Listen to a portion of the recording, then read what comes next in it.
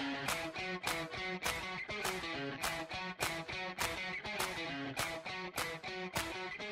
Ok, bienvenue à tous, bienvenue sur le podcast Sport Santé Nutrition. Je m'appelle Médéric, je suis coach sportif et tous les dimanches, je te permets de te remettre en forme et de te transformer physiquement grâce au sport et à la nutrition tout en prenant soin de ta santé. Et aujourd'hui, on va voir un podcast de sport, un épisode de sport, euh, malgré qu'on va parler quand même un tout petit peu en fin d'épisode de nutrition.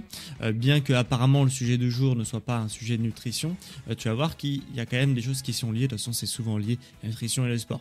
en tous les cas, on va parler de euh, combien de séances par semaine pour maigrir et perdre du poids, puisque peut-être que tu es dans un esprit en ce moment où tu te dis, euh, ok, c'est bon, j'arrête de faire n'importe quoi, j'ai envie de perdre du poids avant l'été, et je peux que t'encourager dans cette voie, puisque euh, en ce moment, c'est les derniers moments où tu peux justement commencer une transformation pour avoir des résultats avant l'été.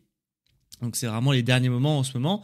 Donc euh, tu te dis peut-être, euh, bah ok, c'est bien beau tout ça, mais combien de séances je dois faire euh, pour justement avoir des vrais résultats Et j'ai pas forcément envie de passer mon temps à la salle de sport. j'ai pas, ou alors tu te dis, je veux faire le max de séances possible et je veux me donner à fond pour avoir le maximum possible de résultats avant cet été. quel que soit ton état d'esprit, dans cet épisode, je vais t'aiguiller sur la meilleure stratégie pour toi pour perdre du poids. Voilà va être une solution qui va être individualisée, hein, bien que ce soit pas forcément facile de le faire en podcast comme je pourrais le faire en coaching perso, mais euh, je vais t'aiguiller en tout cas sur combien de séances par semaine tu dois faire, pas quelqu'un d'autre, toi, tu devras faire par semaine pour perdre du poids. Première chose, et non des moindres, pour savoir combien de séances tu dois faire, c'est euh, qu'il faut déjà, si tu veux perdre du poids, euh, le fait de maigrir, c'est pas quelque chose que tu dois faire comme ça un peu à l'arrache. Hein.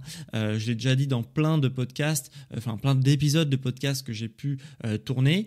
Il faut que tu te poses la question en ton fort intérieur de qu'est-ce qui me convient?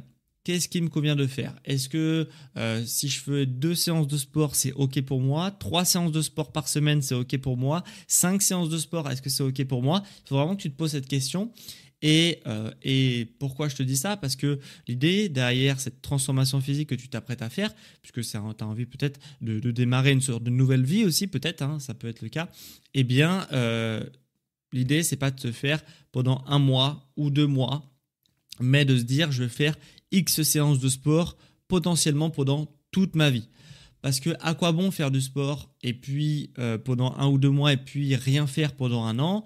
Euh, Non, si tu veux avoir des vrais résultats, que tu vas avoir un vrai changement de silhouette, mais aussi que tu vas avoir aussi un vrai changement au niveau de ton estime personnelle, c'est pas en faisant des régimes, c'est pas en faisant un training de sport intensif que tu vas vraiment gagner en estime de toi que tu vas vraiment gagner en estime personnelle.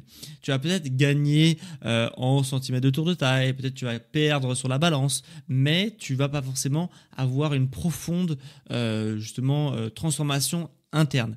Et ça, c'est très important dans la perte de poids, puisque bien souvent, pour perdre du poids, il faut aussi changer son état d'esprit, changer son identité et passer de quelqu'un qui ne fait pas trop attention à euh, ce qu'il mange, qui ne fait pas trop attention à comment il bouge, est-ce que euh, cette personne s'est dépensée cette semaine, etc à une personne qui va justement faire attention à ce qu'elle mange parce que euh, elle prend plaisir à manger sainement et pour entretenir et alimenter son corps, elle prend plaisir à s'entraîner, etc., etc. Donc c'est souvent, comme je te un, un, changement, la perte de poids qui est aussi interne. Alors ça va pas se faire en un jour de passer de sédentaire à sportif, de euh, je m'alimente en filine à je fais attention à ce que je mange, mais je fais vraiment attention à ce que je mange, c'est-à-dire j'ai calculé ce, qui ce que mon corps a besoin pour être bien et j'essaye de lui donner un maximum quand je peux euh, ce qu'il a besoin.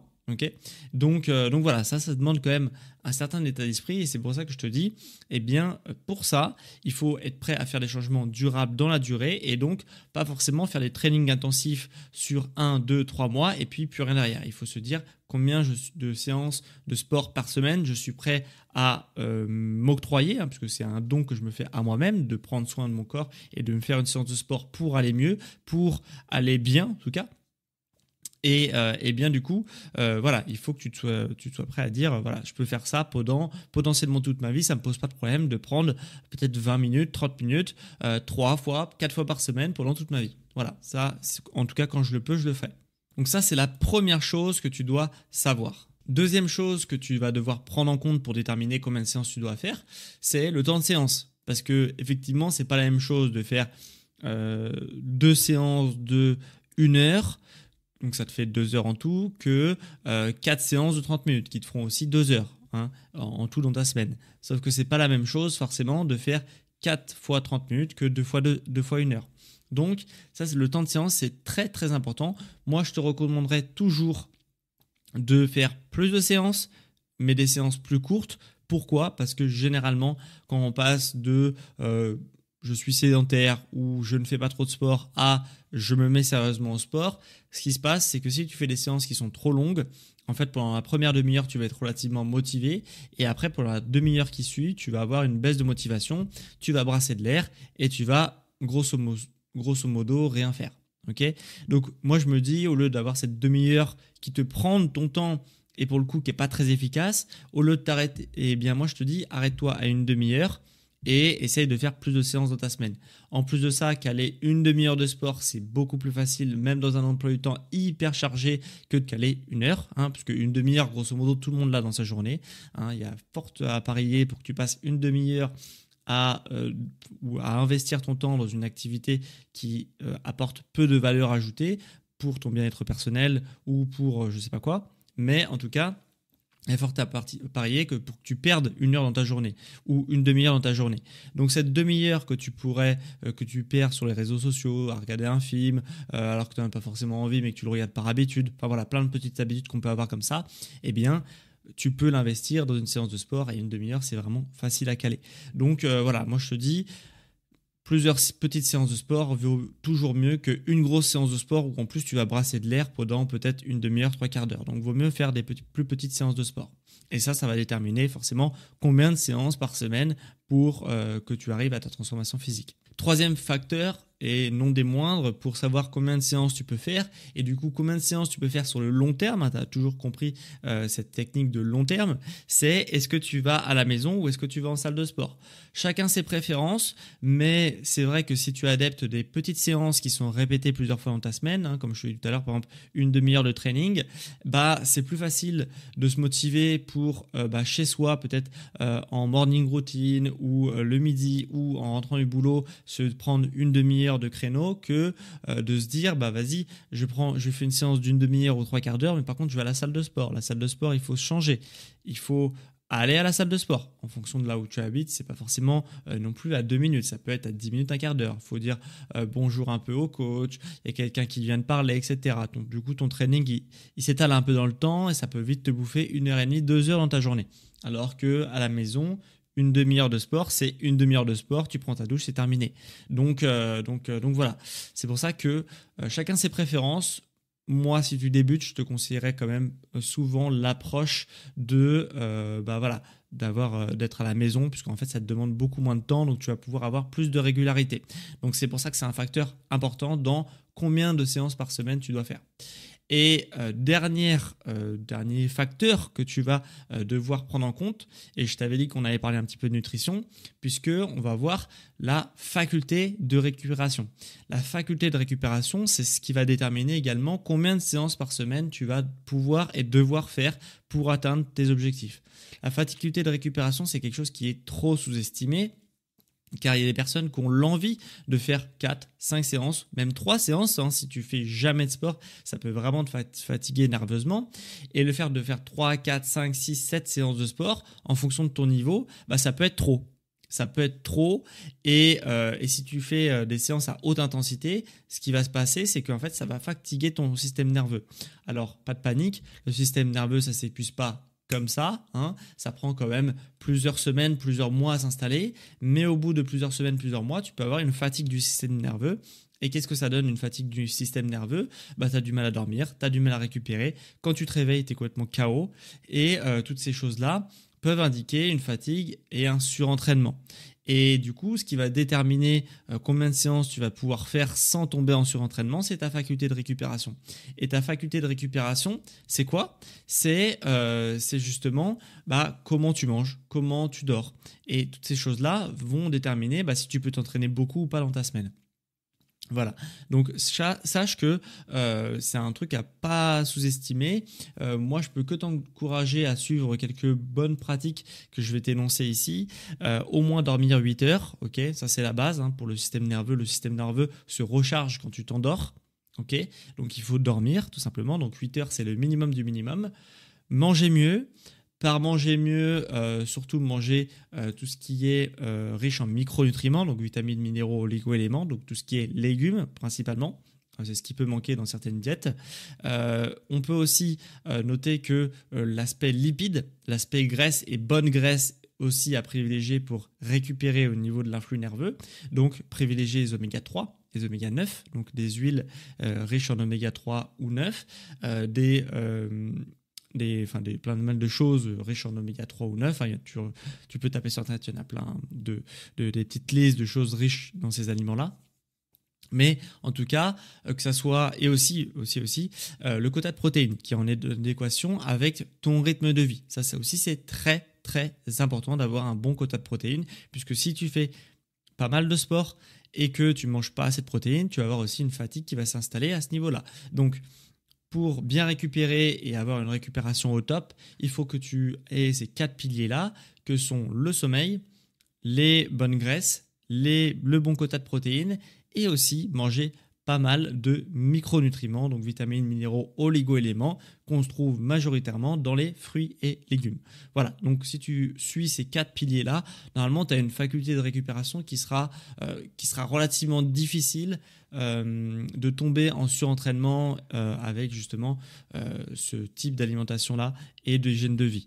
sauf si tu fais vraiment des efforts très intenses, mais euh, ça dépend de ton, niveau, mais euh, euh, voilà, ça, reste quand même relativement peu probable. donc, donc voilà. Donc si je récapitule un petit peu ce que tu as appris dans cet épisode de combien de séances par semaine tu dois faire pour maigrir. Première chose, c'est qu'est-ce que tu es prêt à faire sur le long terme, en termes de séances de sport par semaine. Combien de temps de séances tu peux faire par semaine? Forcément, si tu fais des séances courtes, tu vas devoir en faire plus que si tu fais des séances qui sont longues, où tu devras en faire moins, euh, bien que privilégier le volume et le nombre de séances totales euh, est toujours euh, bénéfique. troisième facteur, c'est est-ce que tu t'entraînes à la maison ou à la salle? Ça va rejoindre la première chose que je t'ai dit, à savoir qu'est-ce que tu es prêt à faire dans la durée? Et dernière chose, c'est ta faculté, ta capacité de récupération qui est liée à la fois à ton hygiène de vie avec le sommeil et à la fois à ta nutrition avec euh, est-ce que tu manges des bonnes graisses, des micronutriments et euh, assez de protéines. Donc voilà, donc ça c'est euh, voilà, comment savoir combien de séances tu dois faire par semaine. Maintenant, si tu veux perdre plus de 5 kilos et que tu veux avoir la méthode la plus rapide qui soit, le mieux du mieux du mieux, c'est d'être suivi par un coach qui s'occupe de tout, qui s'occupe de tes entraînements, qui s'occupe de ta nutrition, qui te motive au quotidien. Donc si c'est ton cas, si tu veux perdre plus de 5 kilos et que tu es dans cette situation-là, que tu veux vraiment avoir une méthode rapide, bah, faut avoir une approche personnalisée. C'est relativement logique. Donc si c'est ton cas, bah, je peux t'accompagner dans ta quête d'un corps beaucoup plus tonique. Euh, et euh, mon accompagnement est désormais uniquement accessible aux personnes qui veulent perdre plus de 5 kilos. Donc si tu es curieux de découvrir ma méthode et de voir ce que je propose avec justement euh, une garantie satisfait ou remboursée de 30 jours, un suivi euh, nutrition, un suivi euh, sport, une motivation au quotidien, je suis vraiment tout le temps sur WhatsApp connecté avec toi pour justement te motiver au quotidien, bah, clique sur le lien en description et remplis le questionnaire pour que je prépare au mieux notre bilan de forme de 30 minutes par visio offert. Et une fois que tu auras rempli ce questionnaire, voilà, on aura un petit, un petit appel visio et tu pourras découvrir euh, avec mon accompagnement Metabolic Boost en combien de temps je peux te permettre d'arriver à tes objectifs. Voilà. Donc euh, voilà, je te dirais, bah, moi je pense que ton objectif, il est, il est accessible en peut-être 4 mois, 5 mois, 3 mois. Et euh, toi, tu me diras, ok, vas-y, on part. Et, et, voilà. Et du coup, on travaillera ensemble pour arriver jusqu'à la, la, réussite de ton objectif. Donc ça, c'est quelque chose que j'accorde beaucoup d'importance donc si tu es intéressé d'avoir une solution clé en main qui te prend dans ta situation où tu es actuellement et qui t'emmène vers la situation que tu rêves euh, de réaliser, eh bien voilà, je vais essayer de faire tout ce chemin avec toi en te prenant par la main. Voilà, avec ma méthode euh, personnalisée. Donc euh, si ça t'intéresse, tu as un lien en description ou alors tu as directement sur mon site sportsanténutrition.com, tu as un petit onglet où tu peux réserver ta place en coaching personnalisé. D'ailleurs, si cette émission t'a plu, si ce podcast te plaît de manière générale, bah, il faut le faire savoir. Il y a deux manières de le faire savoir. Que tu m'écoutes sur Spotify ou sur Apple Podcast, tu peux mettre ta pierre à l'édifice pour justement bah, faire développer ce podcast et faire connaître ce podcast à plus de monde. par exemple, si tu m'écoutes sur Apple Podcast, tu peux écrire un avis sur l'émission, comme par exemple ce qu'a fait Charlène 3092 la semaine dernière qui me met euh, mille merci pour ces super podcasts que j'écoute depuis mon rééquilibrage alimentaire en décembre 2023. J'ai appris tellement de choses, tout est clair, simple et adapté pour les novices comme pour les confirmés. Euh, je conseille partout autour de moi ton podcast, moins 14 kilos sur la balance, entre euh, tes conseils et ma volonté, continue. Voilà, donc bah, félicitations à toi Charlène pour ta transformation physique, hein. tu dois être super super contente, ravi d'avoir pu t'aider justement dans cette quête-là. Et si toi aussi, bah, tu veux euh, donner ton avis sur l'émission, n'hésite pas à faire comme Charlène et à l'écrire via la plateforme Apple Podcast. Si tu m'écoutes depuis Spotify, tu peux aussi justement euh, bah, mettre une évaluation 5 étoiles sur l'émission. On est bientôt à 1000 euh, évaluations sur Spotify, ce qui est quand même assez big. Hein. Il y a peu de podcasts en France qui ont plus de 1000 évaluations. Donc ça serait vraiment cool qu'on arrive à le passer durant la semaine. donc si vous voulez me faire ce petit cadeau, des 1000 évaluations, des plus de 1000 évaluations sur Spotify, et euh, mettez un petit 5 étoiles. Je t'en serai vraiment éternellement reconnaissant. Et si tu m'écoutes depuis Spotify, tu peux aussi répondre à la question de la semaine. Cette semaine, je te pose une question sur le sujet du jour. Combien de séances par semaine tu fais depuis au moins 6 mois? Euh, Voilà, c'est un petit peu